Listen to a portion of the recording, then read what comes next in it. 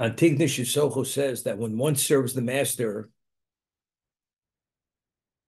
he should not serve the master for the sake of reward, but rather you should serve the master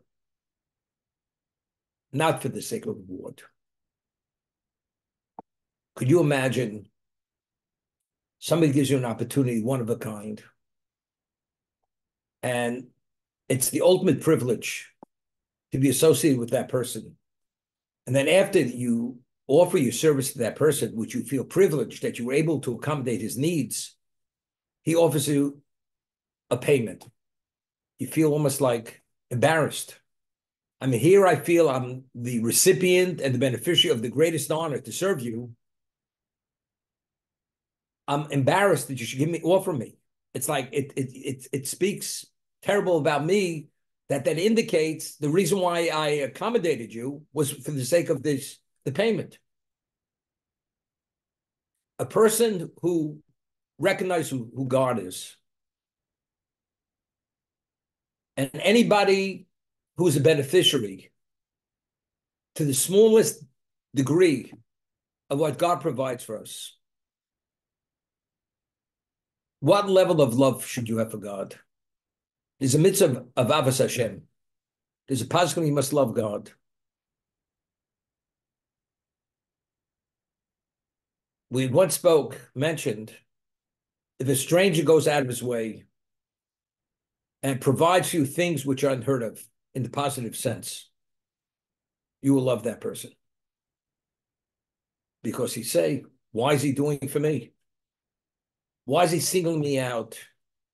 And providing for things which are unheard of in the positive sense, it's positive vein. It must be because he values me. When you feel valued by another individual and the person treats you out of the ordinary well, automatically you will be attracted and you will love that person. It's naturally because that person is special to you because of the way he's treating you. So love is natural. It's a fact.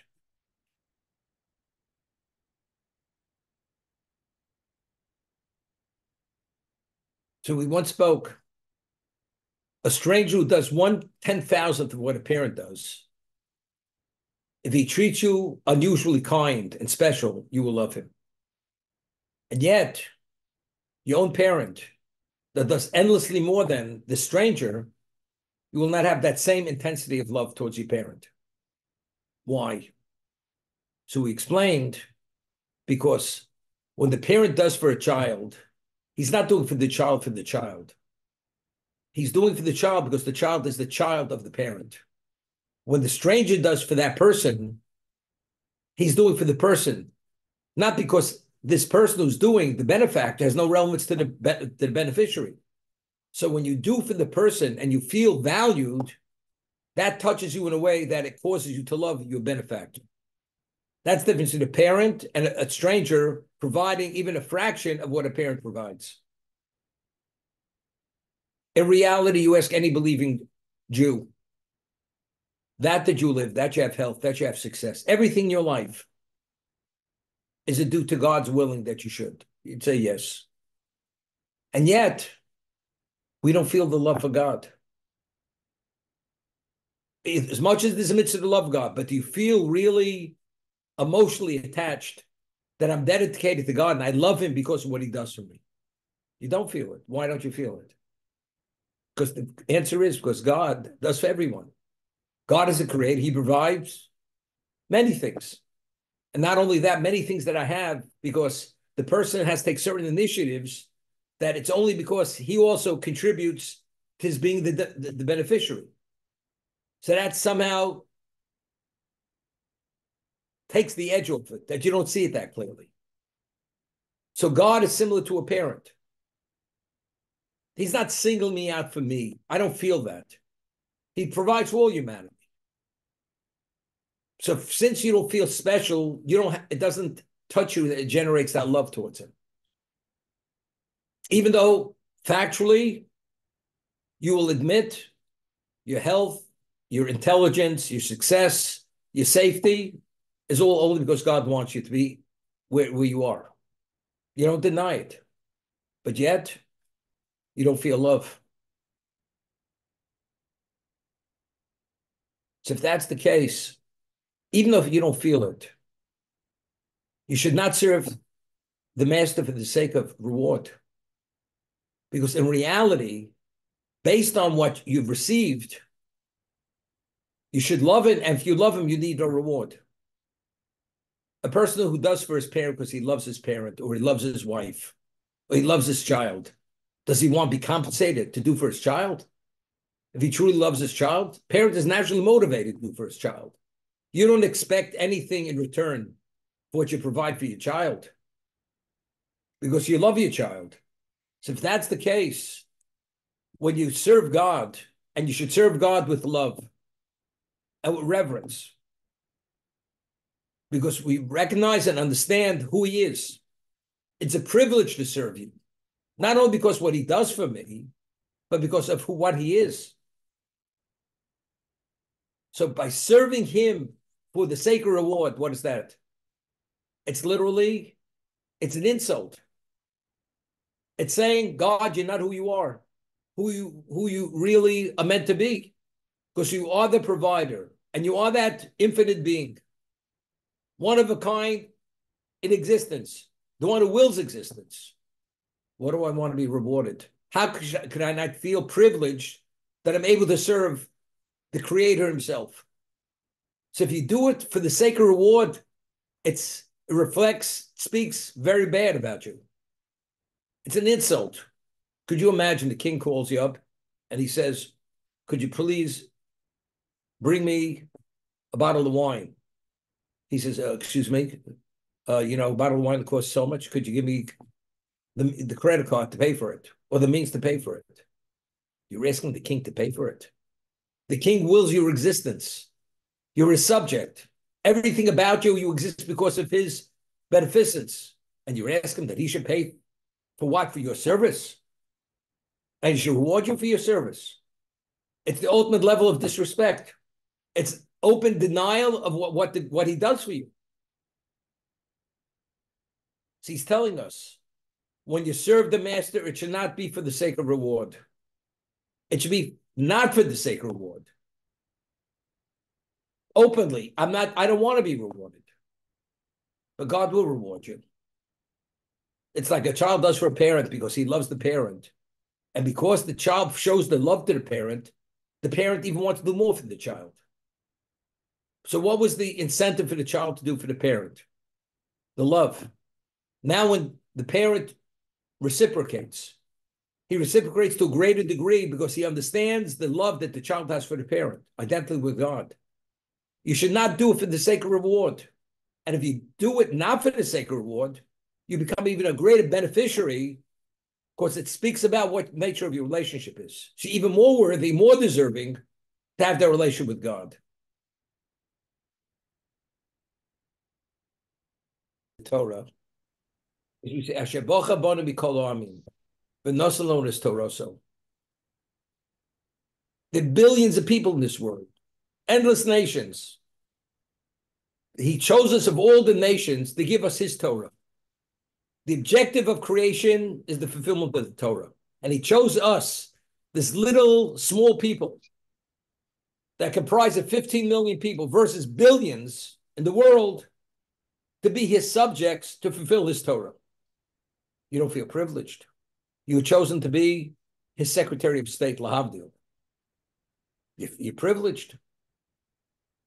He chose us. That's the blessing we say before we study the Torah. What he gave us, he gave to nobody else. He chose us to give it to us. We should be the beneficiaries.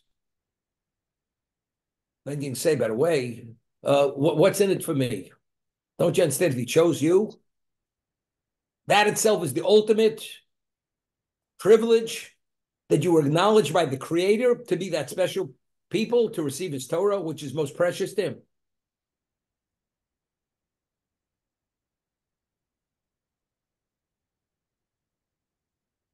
Lahavdil Elef Havdolos. And I say it over endless. Person has a purebred dog. Speaking because Malachi's on. And this dog won every award in the world, every dog show. It's a breed, obedient, and a person gives it to you as a gift. And it's special. The whole world speaks about this dog. But you realize when you receive that dog, you got to have to get up in the morning and walk it. You got to feed it. You got to take to the vet. There's a cost factor. But because it's known in the world that dog is one of a kind of a dog, you feel privileged that you were chosen to receive that dog. What about the responsibility to take care of it? If you understand what that dog is, and when you walk down the street, as the dog struts, you strut right behind it. So lahavdil elef havdolos, God gives you what He says is there's nothing more precious than in existence, and He chose us to give us His Torah, which is considered His most precious commodity in the world. You shouldn't feel privileged, and you have to say, but you know there's a responsibility. So what? When you get that dog, there's also responsibility. Lahavdil. You got to walk it, you got to clean it, you got to care for it got to even take out health insurance for it based on the vet the vet's fees. And you got to buy him a plot in the, in the dog cemetery with the tombstone. That's where the world is holding. But it's okay. Because you value that dog. Because dog, the dog is man's best friend. You drive to Poughkeepsie to buy that dog. Where else will you drive? Okay? We drive to Poughkeepsie to do a mitzvah. Lahavdil. But to buy the dog, you buy you, you go to Poughkeepsie to buy the dog.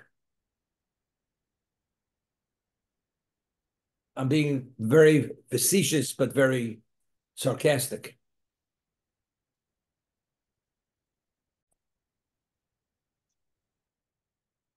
Happiness is a state of mind. Person can have everything in the world. If you don't have that state of mind, to appreciate what you have and where you're at, regardless what you have, you won't be happy. It's a state of mind. You have to process it, internalize it in a certain context to be able to be, to touch you, to be happy.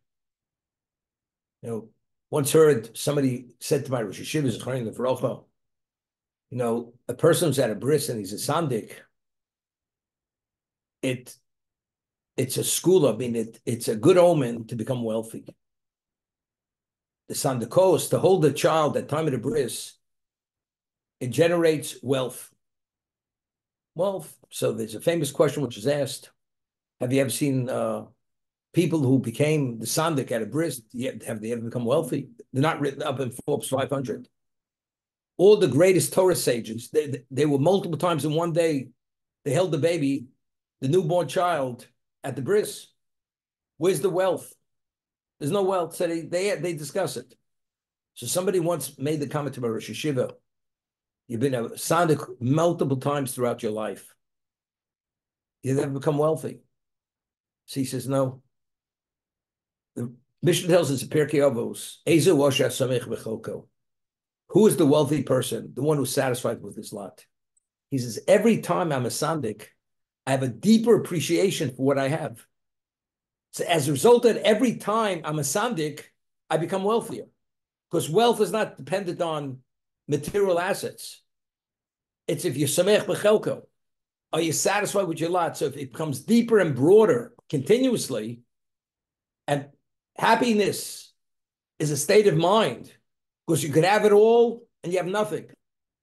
And you have very little, but if you're satisfied, you have everything. So if that's the case, is every time I'm the sandik, God gives me the ability to appreciate what I have to a greater degree, therefore I become wealthier. And it's a reality, it's the truth.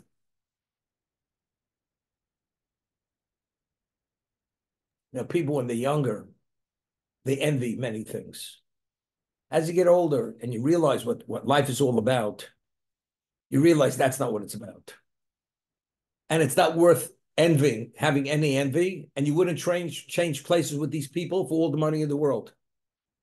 Because you recognize and understand what, what it's all about. But you realize you have to have have to be privileged to be able to see things that way. You know, some people they never grow up. Their lens never changes. They always want more and more, more honor, more material, more everything. Other people said, you know something? I've come to a point in my life, I understand. I want my life to be less complicated. I want to do what I'm supposed to be doing. No distraction. We read in Pirkei Avos, Marbin Marbin The more you have, the more worry you have. The less you have, if you have enough, as they used to say, lean and mean. That's it. The key in life is to be focused. Be focused on what where you're supposed to be, not to be distracted. That's what it's all about. If I understand where I'm supposed to be and what I'm supposed to be, I want to succeed in what I'm supposed to be. And if I have all this clutter, I'm not going to be able to achieve that. And if you can't succeed and be who you're supposed to be, you, you're the luckiest guy in the world. You should be the happiest person in the world if you appreciate that.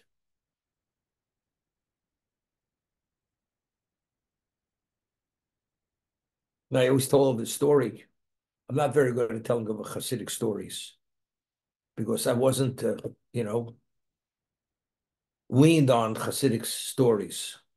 But there's one Hasidic story I relate to very well. There was a famous story. There was a a Rebbe, great Hasidic rabbi, and one of his Hasidim was very wealthy, and he lost everything. And when he lost all his wealth, he felt his life has come to an end. Here he used to give charity, and he used to help people, and now he's no longer able to do it. And he has turned people away, and he's emotionally he's, he's an emotional wreck. He feels his life really. God threw him a, a curveball. He's going. His life is going south. So he goes to the Rebbe, and he says to the Rebbe, "How do I regain my happiness?" He says, "I'll tell you the truth. I have a chosid. One of my chasidim. His name is Rebbe Reb Zusha. Zusha He's he's a chosid. He's he he's a week travel from this town. You go to him, he'll treat you how to teach you how to be happy, although he has nothing. Okay, the Rebbe says so. So he travels to this town, to this village, comes to town after week's travel, and he starts asking around uh, Zusha, where is he? Eventually was known as the Rebbe Reb Zusha, the great Rebbe, Hasidic Rabbi Zusha. He says, well, he lives in the outskirts of the town. There's a house, it looks like a hovel. Most of the windows have rags in them. The roof is, is caving in. The door is only on one hinge. You'll find him there. He travels to the house, he knocks on the door. He just touches door and nearly falls off the hinge. Comes in, and the person knocks on the door, person opens the door. He looks emaciated, looks malnourished. The clothing is wearing a threadbare. He looks, he invites him in, and he says to him, Why did you come? He says, Your holy rabbi sent me. When he mentioned the name of the holy rabbi, he started a beam. Zusha started a beam, smile, a level of happiness he's never seen. He's coming as an emissary of his holy rabbi. walks in. He says, Why don't you come in? Have a glass of tea. He looks at the, the, the, the environment in the house, earthen floor. The table looks like a few boards knocked together. The chair's rickety. He's never seen anything this like this in his life. Comes out, he sits down, drinks the tea. He says, Why, why did the holy rabbi send you? He starts telling him of his travails and his problems and how he's depressed and he has nothing. And the rabbi, holy rabbi said that I'll come to you and you're going to teach me to be happy, although you have nothing. As soon as he hears that, he gets on the, he has, he starts grimacing. He says, I have nothing. He says, God forbid, I should say the rabbi I think made a mistake. I have everything in the world. What do you mean I have nothing? You understand? The man barely has a, a rag to cover his body. And he has everything. What's going on? This man most missed the boat. Does he have his hand, head in the sand? He doesn't wear the Brioni suit. He doesn't drink the, the aged wine that he pays who knows what for. His name's not in, in, in, in, in, in, the, in the Wall Street Journal every day as a rainmaker. None of this. But he says, I have everything. What's life all about?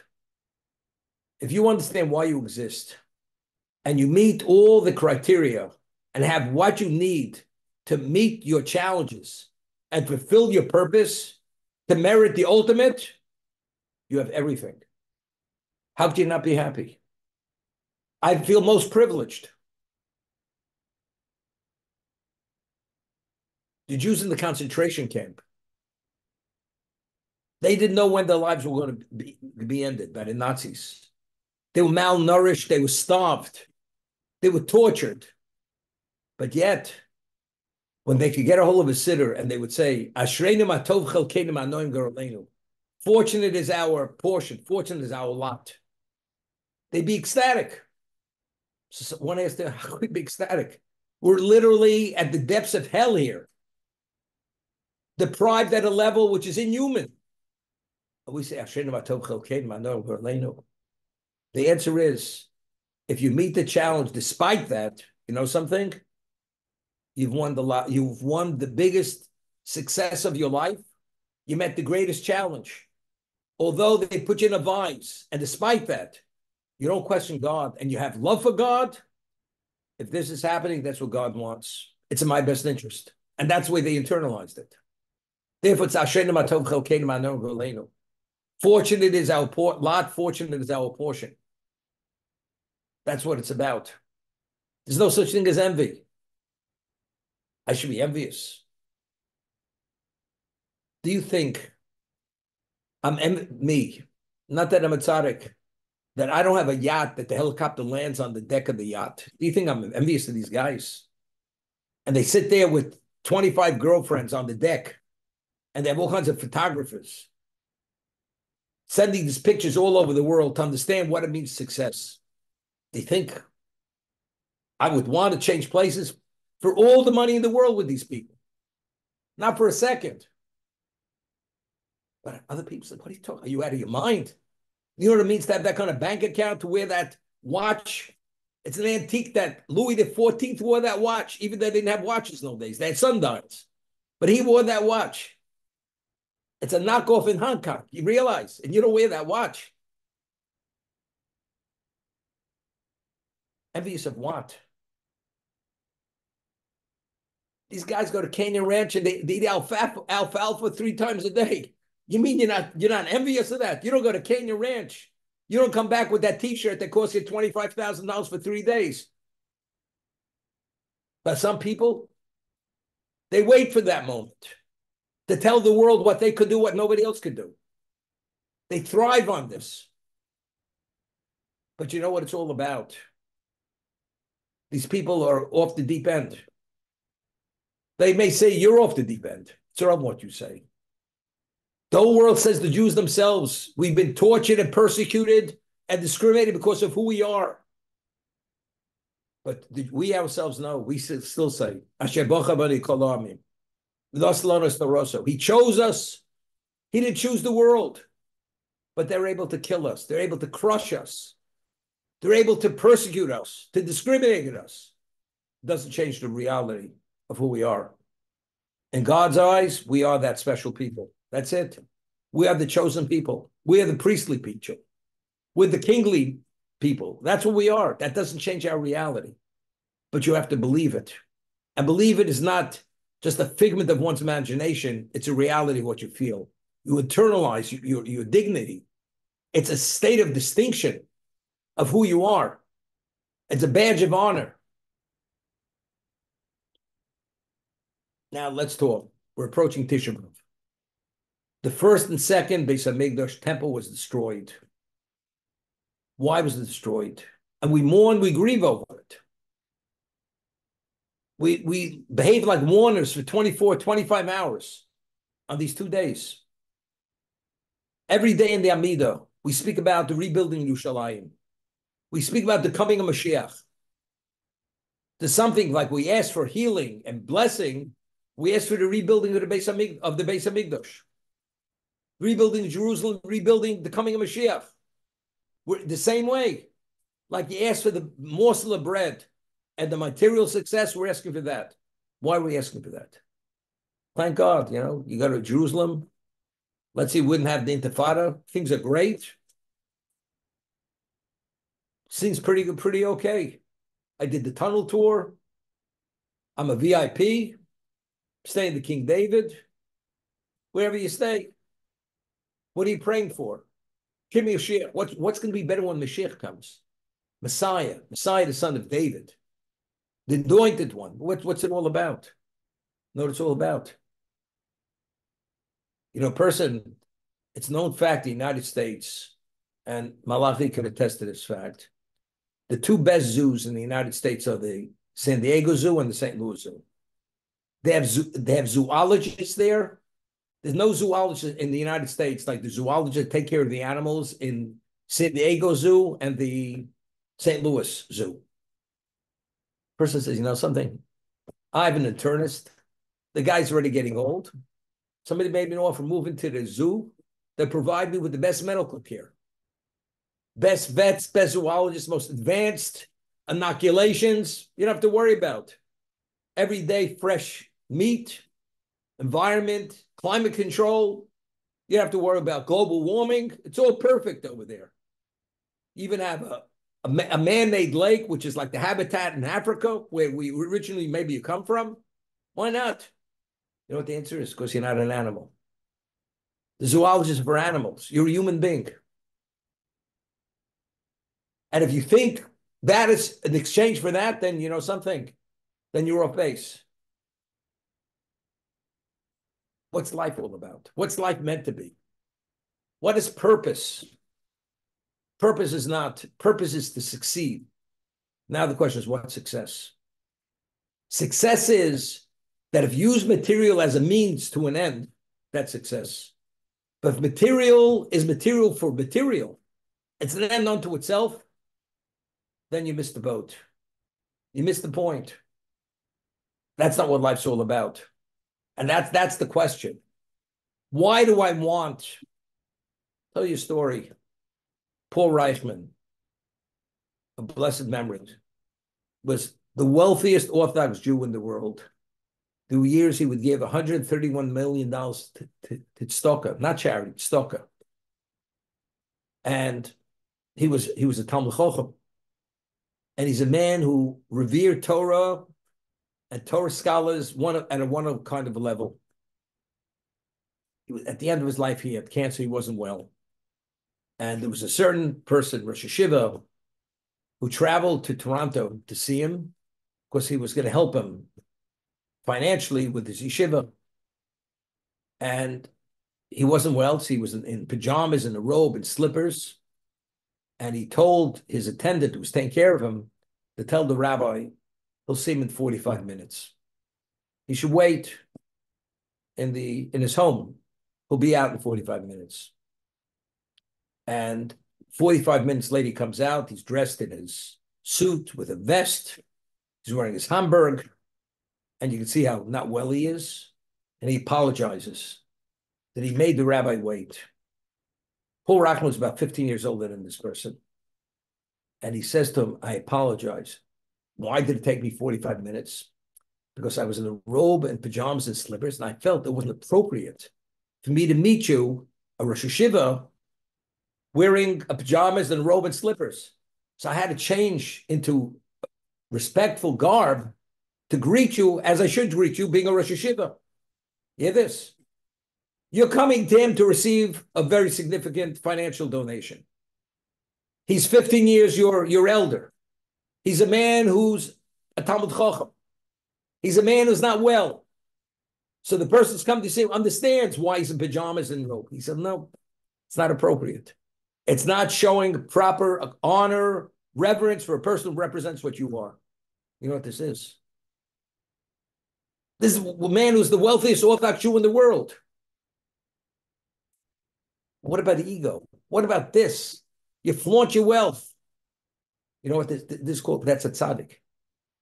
Hashem says, I glorify myself with these kinds of people. These are my children, one of a kind. Whoever heard of such a thing? This is a role model. This should inspire us. So we, we celebrate, I'm using the word celebrate Tisha B'Av. We observe Tisha B'Av. God is in pain that he had to destroy the temple. And why did he destroy it? Tisha B'Av is cl- classified as a holiday. Why is it a holiday? Because God says, really, you you people deserve to be destroyed. Except I destroyed the temple. That was the collateral I took that I shouldn't have to destroy you. So therefore, we celebrate that we weren't destroyed. He took the temple instead of us. But truth, what was the meeting place that we would meet him? We would have his children visit and sit at his table and interact and express his love for us. It was the temple. God is pained that he, he doesn't have that anymore. Why? Because we're not worthy. So we're grieving for God's pain, what we don't have and what he doesn't have. That's what Tisha B'Av is all about. And we sit on the floor like a mourner during the Shiva period. And you have to reflect on this. You have to think about it. Knowing it is not enough. Reflection is the key. To be distracted, it's not going to resonate. But that's what that's what Tisha B'Av is all about. And we have nine days. It starts from Rosh Chodesh Av, and gradually, as we get closer, the mourning period intensifies to come upon the reality, to be able to internalize what it's about. We read Eicha, elegy, which was written by Yirmiyah, Jeremiah the prophet, who witnessed the destruction of the temple. He witnessed the Jews going to exile, going to Babylon. Here, the, the royalty of the world are being in chains, taken in chains to, to, to Bavel, to Babylon to be sold like slaves, like chattels, tortured, killed, murdered. But that's what it was. God's people. And God's watching all this.